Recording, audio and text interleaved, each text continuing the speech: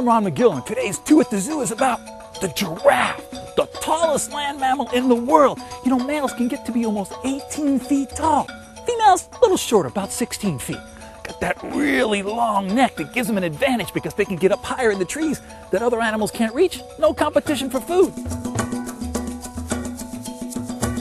Now, in that long neck, you might think, probably a lot of vertebra, right? If we've got seven vertebrae in our neck, people might think probably 25 in a giraffe. Wrong! Seven, too. Almost all mammals have seven vertebrae in their neck.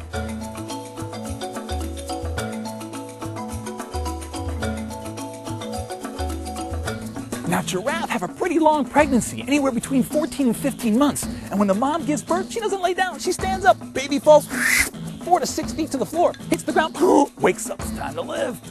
Mothers lose their babies sometimes to lions and hyenas, but they will protect their babies with a very swift kick. The kick is so powerful, I've actually seen it break the spine of a lion.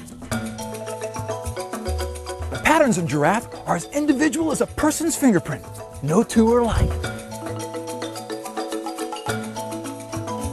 Now, the giraffe has got this incredibly long tongue. It's like 18 inches long. Look at that. Oh my goodness. It's like this prehensile tongue. And they're able to grab the food, hook onto it, and put it back And the tongue is really thick so that when they eat the acacia with the big spines in the wild, they don't get hurt. It's incredible. That tongue gives them almost an extra foot of reach to get up there. Don't try this at home. Oh, you haven't lived till you've done that. For Two at the Zoo, I'm Ron Magill. Until next time, keep it wild.